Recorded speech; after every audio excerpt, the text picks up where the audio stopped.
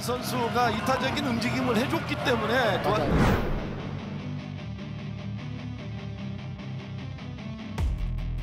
Asnawi Magwalam terus menunjukkan performa positif dalam beberapa laga terakhirnya bersama Ansan Greeners.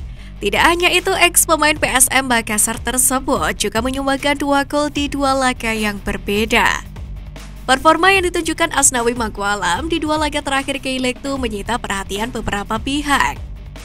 Mengenai peningkatan penampilannya ini, Asnawi menilai disebabkan oleh faktor cuaca. Cuaca di Korea menjadi sangat panas dan lembab akhir-akhir ini, namun mirip dengan cuaca di Indonesia. Jadi sepertinya performa saya akan semakin baik, kata Asnawi Mangkualam seperti dikutip dari Gol Korea. Pelatih dan beberapa pemain Ansan Greener juga memberikan pujian untuk back 22 tahun itu.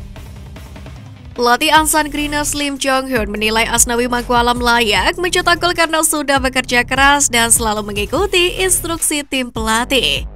Saking kagumnya melihat penampilan Asnawi Mangkualam, Lim Jong Hyun meminta kepada seluruh anak asuhnya untuk mencontoh gaya bermain Asnawi Mangkualam yang Spartan saat di atas lapangan hijau.